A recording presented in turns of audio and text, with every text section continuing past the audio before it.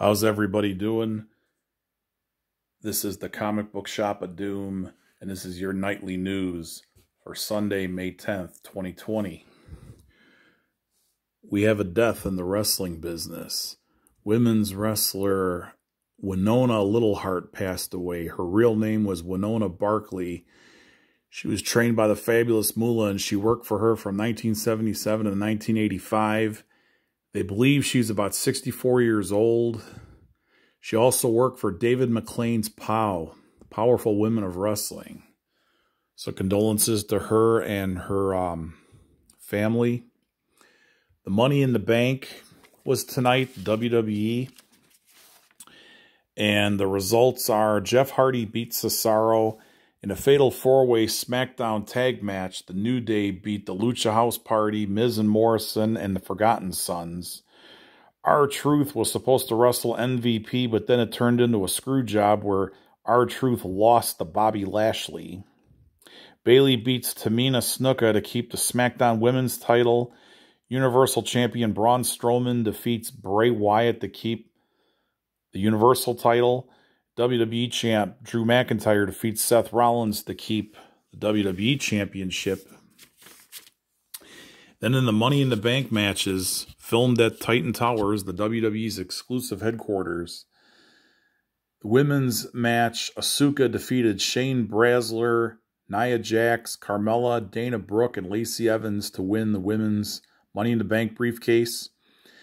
And in the men's Money in the Bank briefcase, Otis defeated AJ Styles, Daniel Bryan, King Corbin, Aleister Black, and Rey Mysterio to win the men's Money in the Bank briefcases. King Corbin threw Aleister Black and Rey Mysterio off of the roof. So that was the big shocker. And then AJ Styles had the briefcase in his hands and he dropped it when he was on the ladder, and Otis caught it.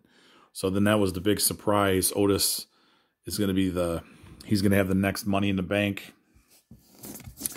Okay, this Tuesday, DC Comics shipping for May 12th. There's five books. Harley Quinn number 72, Justice League number 44, Justice League Odyssey number 20, Lois Lane number 10 of 12, so it's a limited series, and then Metal Men number 6 of 12. That's another limited series. Alberto Del Rio arrested for sexual assault in San Antonio. This is pretty bad. He was forcing some lady to dance and have her put on a dress. And he told her, she said she didn't want to do it. And he told her that if he didn't do it, he was going to take her four-year-old kid and dump him off in the middle of a road. So he got arrested. Bail was five grand. So that that's a lot. So who knows if it's a he said, she said thing. We will find out uh, the Titans universe on DC Universe. So the Teen Titans show, this is called Titans. They're talking about having spin-offs. Now here's the thing, DC Universe might not be around for long. They're talking, there's rumors it may merge back into HBO Max. So that's supposed to start at the end of the month, May 27th, HBO Max. So DC Universe may not be around, so they might just pump all those DC shows on the DC um, onto the DC thing, HBO Max, just have their own section on there. Then the final little rumor tonight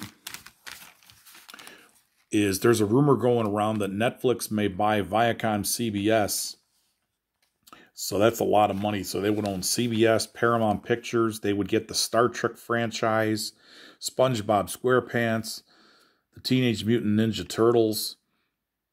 There's a lot of properties there the Paramount Pictures library, um, just just a lot of stuff.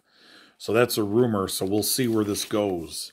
All right, that's your nightly news report for Sunday night, May 10th, 2020. Have a good night.